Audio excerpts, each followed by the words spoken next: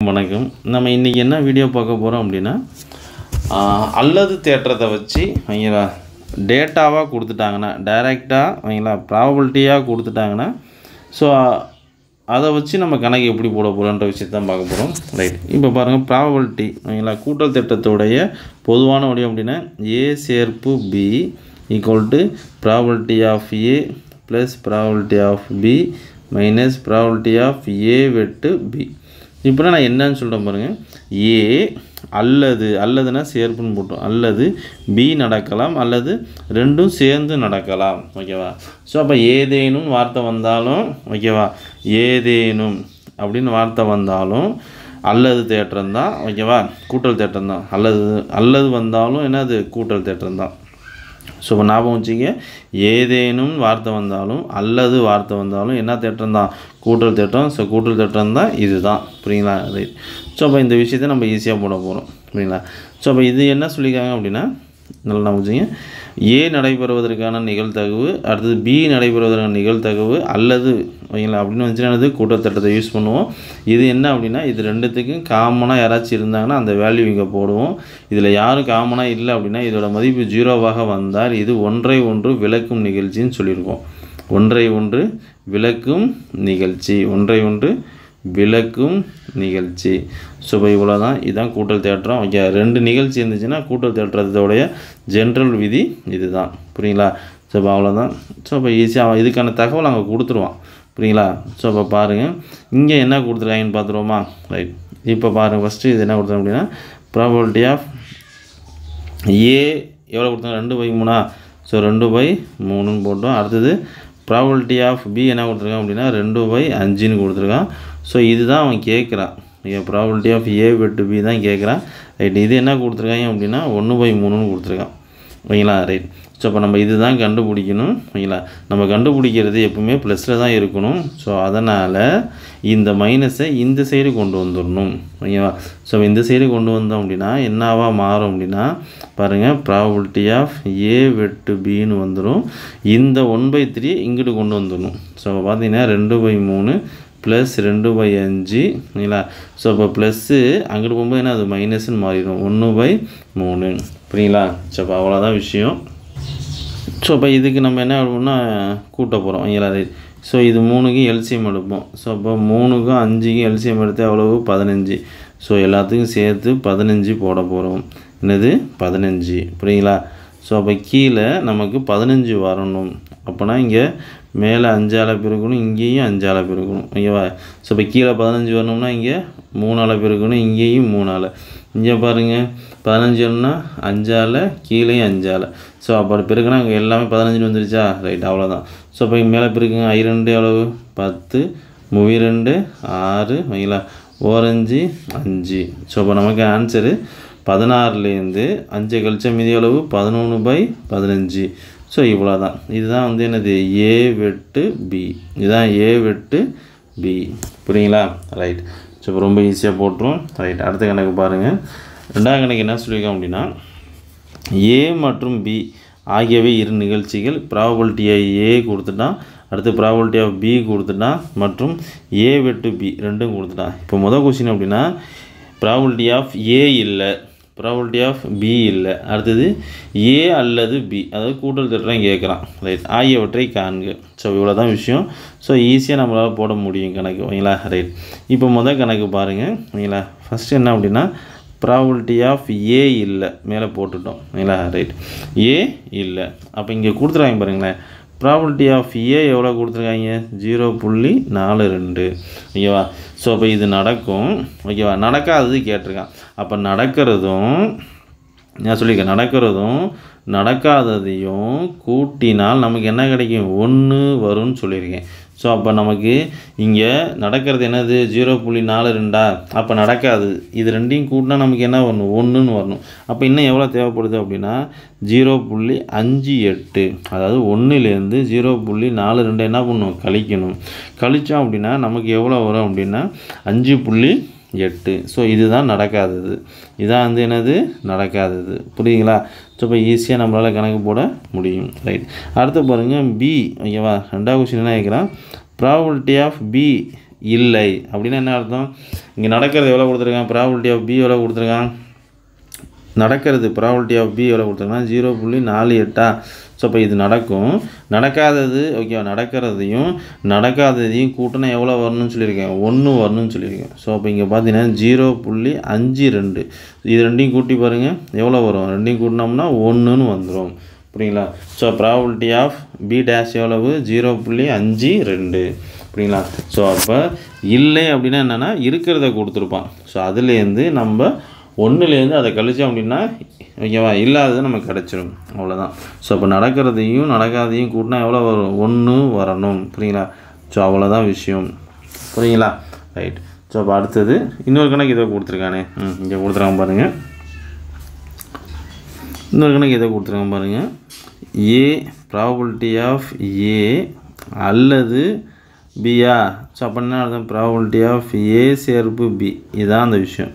So probability of A plus probability of B minus probability of A வெட்டு B so இதுக்கான ஆன்சரே probability of ஏ கொடுத்துருக்கான் zero புள்ளி நாலு ரெண்டுன்னு கொடுத்துருக்கான் ப்ராபபிலிட்டி ஆஃப் பி என்ன கொடுத்துருக்கான் ஜீரோ புள்ளி நாலு எட்டு. ஓகேங்களா? மைனஸ் இங்கே கொடுத்துருக்கான் பாருங்கள் ஜீரோ புள்ளி ஒன்று ஆறு. ஓகேங்களா? ரைட் ஸோ இது ரெண்டையும் கூட்டினோம் அப்படின்னா என்ன வரும் அப்படின்னா? ஜீரோ புள்ளி அஞ்சு ஜீரோன்னு வரும். ஓகேவா? ஸோ அப்போ மைனஸ் ஜீரோ புள்ளி ஒன்று ஆறு. ஸோ ஜீரோ புள்ளி அஞ்சு ஜீரோலேருந்து ஜீரோ புள்ளி ஒன்று ஆறு என்ன பண்ணணும்? கழிக்கணும். இங்கே நாலு இங்கே பத்து இல்லைங்களா? ஸோ பத்துலேருந்து ஆரம்பிச்சுன்னா நாலு இங்கே மூணு ஜீரோ ஸோ நமக்கான ஆன்சர் என்ன அப்படின்னா ஜீரோ புள்ளி மூணு நாலு. இதுதான் ஏ சேர்ப்பு பி ஓகேவா அதாவது ஏ அல்லது பிக்கான ஆன்சர் இதுதான். புரியுங்களா? ரைட் ஸோ இப்போ வாங்க அடுத்த எனக்கு போவோம். ரைட் மூணாம் கணக்கு பாருங்களேன். ரொம்ப ஈஸி தான் இது. என்ன கணக்கு சொல்லிங்க அப்படின்னா ஒரு சமவாய்ப்பு சோதனை ஏ கமா பி ஒன்றை ஒன்று விளக்கும் நிகழ்ச்சி. இந்த இடத்துல நல்லா ஞாபகம் வச்சுங்க ஒன்றை ஒன்று விளக்கும் நிகழ்ச்சி. இப்போ பி அதாவது ப்ராபபிலிட்டி ஆஃப் ஓகே ஏ இல்லைன்னு சொல்லிட்டான். ஓகே ஜீரோ புள்ளி நாலு அஞ்சு. அப்போ இருக்கிறது எவ்வளோ அப்படின்னா இது ரெண்டையும் கூட்டினா ஒன்று வருமா? அப்போ ஜீரோ புள்ளி அஞ்சு அஞ்சு. இது ரெண்டையும் கூட்டினா தான் ஒன்று வரும்.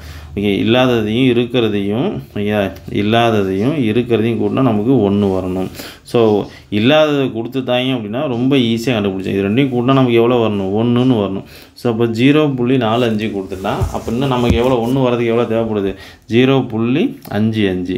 எப்படி கூட்டணும் தெரியல அப்படின்னா ஒன்றுலேருந்து ஓகேங்களா ஜீரோ புள்ளி நாலு அஞ்சு என்ன பண்ணணும்? கழிக்கணும். ஸோ கழித்தோம் அப்படின்னா ஜீரோ புள்ளி நாலு அஞ்சு ஓகேங்களா இங்கே ஜீரோ ஒன்பது பத்து. பத்துலேருந்து அஞ்சு போச்சுன்னா அஞ்சு ஓகேங்களா? ஒம்போதுலேருந்து நாலு போச்சுன்னா அஞ்சு. ஸோ அதான் ஈஸியாக நம்ம போட்டிருக்கோம். புரியுங்களா? ரைட் ஸோ இப்போ அடுத்த பார்த்தோம் அப்படின்னா இன்னொன்று என்ன கொடுத்துருக்காங்க அப்படின்னா ஏ சேர்ப்பு இல்லை ஸோ இப்போ இங்கே கொடுத்துருவோம் ஏ ப்ராபிலிட்டி ஆஃப் ஏ சேர்ப்பு பி கண்டு கொடுத்துருக்கான் எவ்வளோ ஜீரோ புள்ளி ஆறு அஞ்சு. ஸோ அப்போ பி ஆஃப் பி தான் கேட்குறான் ஸோ இப்போ ரொம்ப ஈஸி தான். ஓகேங்களா? ஸோ என்ன ரூல் நமக்கு? Probability of A union B is equal to probability of A plus probability of B minus probability of A வெட்டு பி ஸோ இதோட வேல்யூ இங்கே கொடுத்துருக்கான் என்ன கொடுத்துருக்கான் ஜீரோ புள்ளி ஆறு அஞ்சுன்னு கொடுத்துருக்கான் இதோட வேல்யூ நம்ம ப்ராபபிலிட்டி ஆஃப் பி ஏ கண்டுபிடிச்சிருக்கோம். என்னது? ஜீரோ புள்ளி அஞ்சு அஞ்சு ப்ளஸ் ப்ராபபிலிட்டி ஆஃப் பி இதோட வேல்யூ என்ன சொல்லுங்க பார்ப்போம்.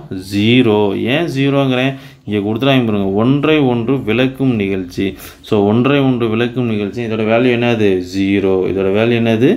ஜீரோ ஸோ அப்போ அவ்வளோதான் முடிஞ்சு போச்சு கணக்கு.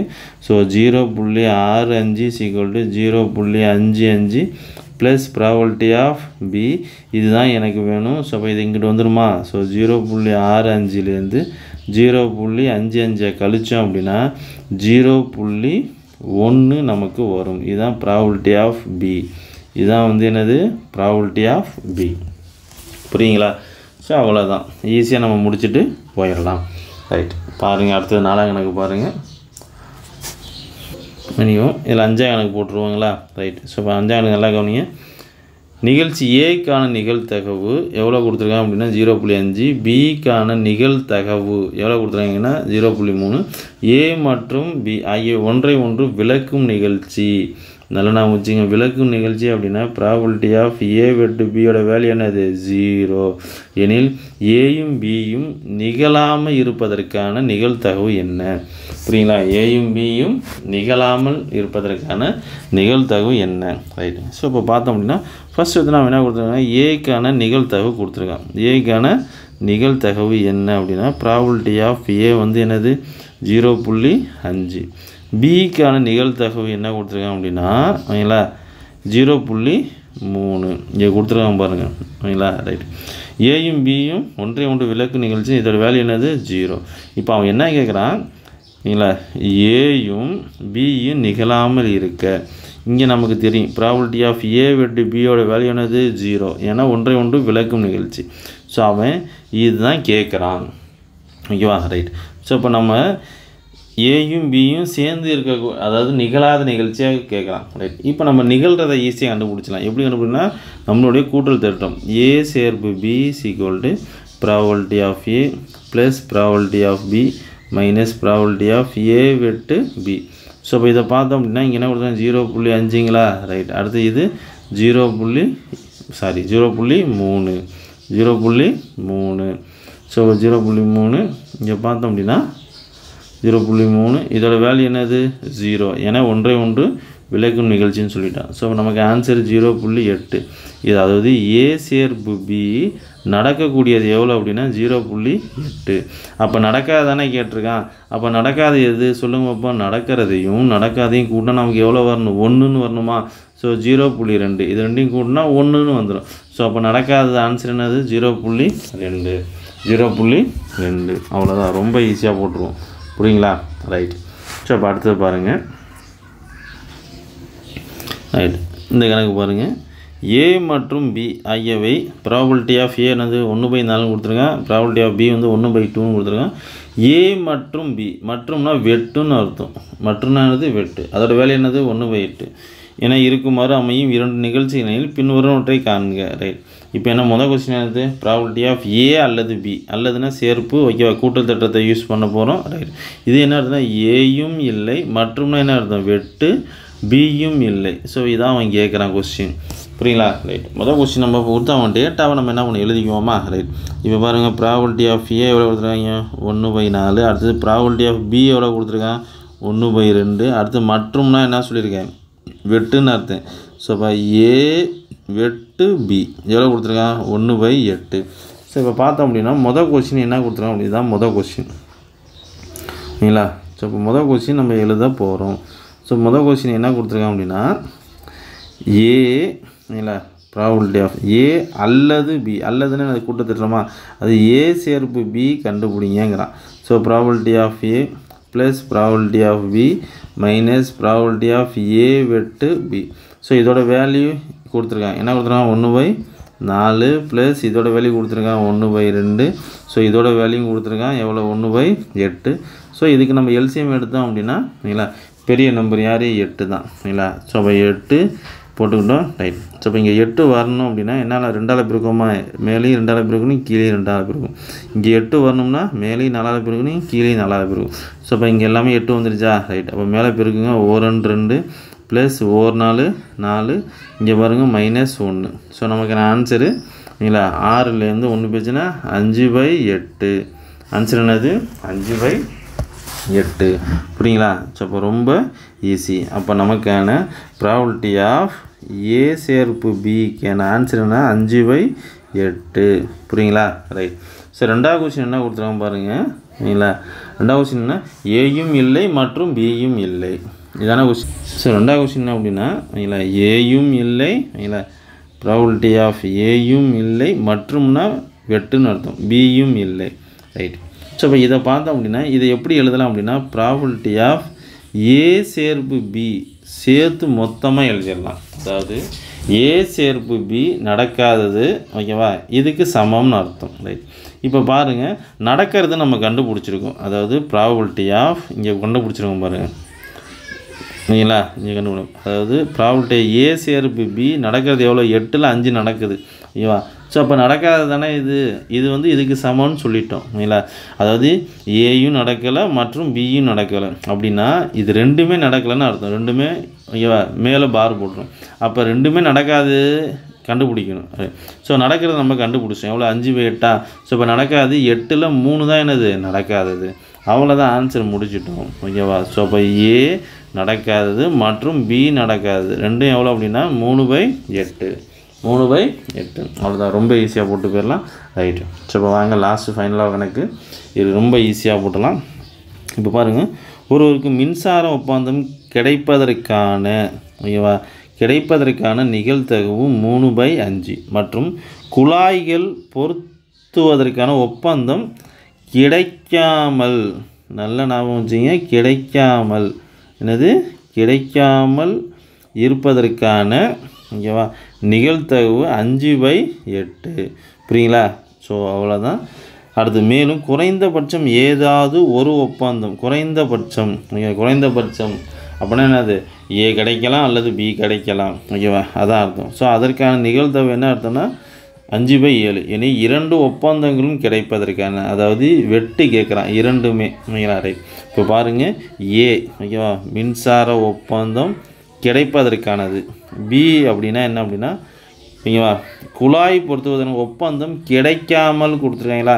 ஸோ அப்போ நம்ம கிடைக்கிறத கண்டுபிடிக்க போகிறோம் ஃபஸ்ட்டு ஓகேங்களா? ரைட் எப்படி அப்படின்னுன்ற விஷயத்தை நம்ம சொல்ல போகிறோம் பாருங்கள் இப்போ ஃபஸ்ட்டு ஒருத்தனை எல்லாமே கிடைக்கிறது தான் நம்ம கண்டுபிடிக்கணும். கிடைக்காம கிடைக்கிறது தான் கண்டுபிடிக்கணும். கிடைக்காத டேட்டா கொடுத்துருந்தா கிடைக்கிறத ஈஸியாக கண்டுபிடிச்சிடலாம். ஸோ இப்போ ஏ என்பது மின்சாரமாக ரைட் மின்சாரம் கிடைப்பது நிகழ்வு உள்ளது மூணு பை அஞ்சு. ரைட் பி என்பது குழாய் கிடைக்காமல் ஒப்பந்தம் கிடைக்காமல் இருப்பது நிகழ்வு எவ்வளவு அஞ்சு பை எட்டு.